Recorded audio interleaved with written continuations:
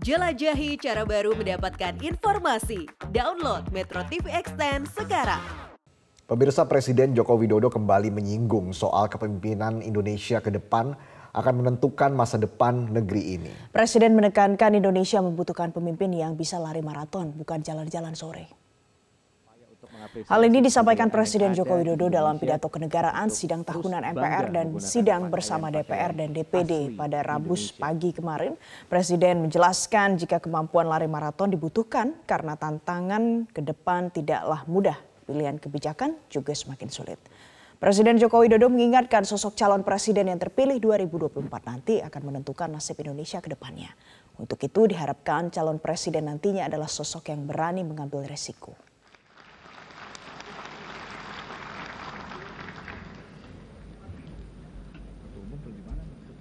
Saya berulang kali menyampaikan kepemimpinan ke depan sangat menentukan masa depan Indonesia. Ini bukan tentang siapa yang jadi presidennya. Bukan bukan itu. Bukan itu.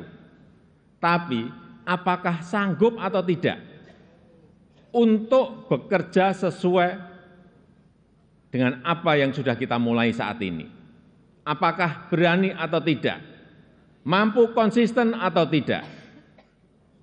Karena yang dibutuhkan itu adalah nafas yang panjang. Karena kita tidak sedang jalan-jalan sore, kita juga tidak sedang lari sprint, tapi yang kita lakukan harusnya adalah lari maraton untuk mencapai Indonesia emas. Pemimpin itu harus punya public trust, karena kepercayaan adalah salah satu faktor penentu bisa berjalan atau tidaknya suatu kebijakan, bisa diikuti atau tidaknya sebuah keputusan.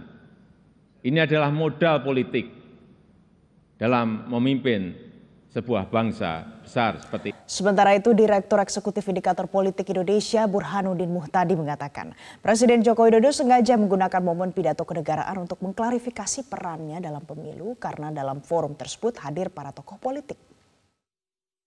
Dengan kehadiran tokoh-tokoh termasuk Ibu Mega, klarifikasi ini penting untuk menjaga keseimbangan eh, kekuasaan terutama PDI Perjuangan yang sudah mendeklarasikan Ganjar Pranowo karena kalau misalnya tidak ada klarifikasi dari Presiden Jokowi, maka semakin tebal eh, persepsi bahwa Presiden Jokowi menganak emaskan Prabowo Subianto. Jadi bagian dari balancing of power, Presiden Jokowi melakukan curhat politik tadi untuk mengklarifikasi tudingan beliau berada di balik deklarasi empat partai pendukung Pak Prabowo. Tetapi pertanyaannya kan, apakah serta-merta elit politik percaya terhadap statement Presiden Jokowi itu kan lain soal.